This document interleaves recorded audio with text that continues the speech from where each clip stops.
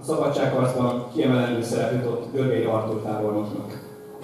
Görgei katonai pályája meredeken művelt felfelé a szabadságharc alatt.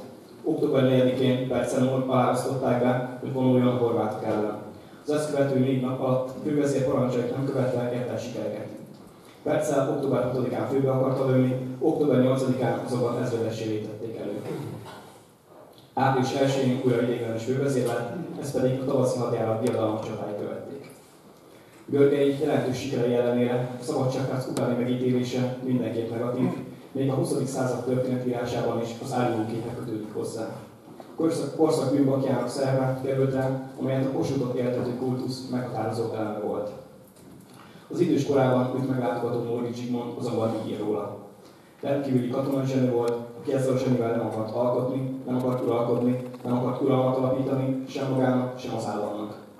Saját szavainkkal fogalmazva, Görgei Artúr sikerei ellenére is megmaradt katonának.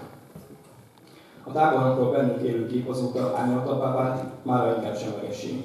Alakjának jelentőségét, életének történetét azonban csak kevesen ismerik teljesen. A politikában való részvételnek az elutasításával Görgei épp a hatalom kezében vált eszközé, amely a róla alkotott képet is eltorzította. A hazáért szolgálata miatt a legnagyobbakhoz méltó tisztelet érdemli. Következik a görgei induló.